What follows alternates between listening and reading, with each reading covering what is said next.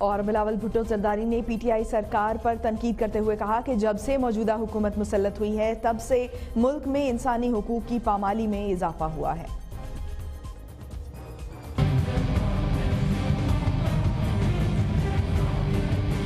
Pakistan Peoples party کے chairman Bilawal Bhutto Zardari نے انسانی حقوق کے عالمی دن پر پیغام میں کہا ہے کہ ریاست کی جانب سے اپنے شہریوں سے معاہدے کا احترام اور ہر شہری کے انسانی حقوق کی بلا امتیاز پاسداری ضروری ہے۔ انسانی حقوق کی پاسداری کے ضمن میں کوتاہی قیام پاکستان کے بنیادی اصولوں سے انحرافی کے مترادف ہے۔